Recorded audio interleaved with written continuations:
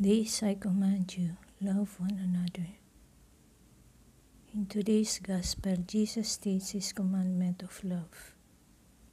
In the preceding verses, he tells his disciples that the way they could remain in his love is for them to keep his commandments.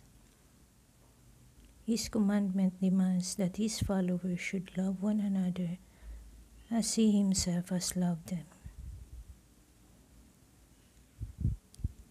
But how does Jesus show his love?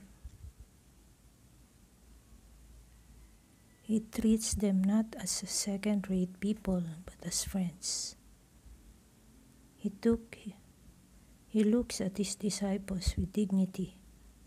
Furthermore, he loves them the greatest sense of what true friendship is.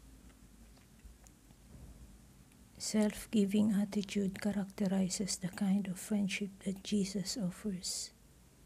It is a friendship that does not seek to aggrandize the self, but gives oneself to one's friends, even to the point of laying down one's life.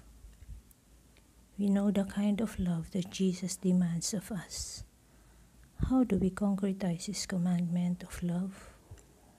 How do we make love of Jesus operational in the context of friendship?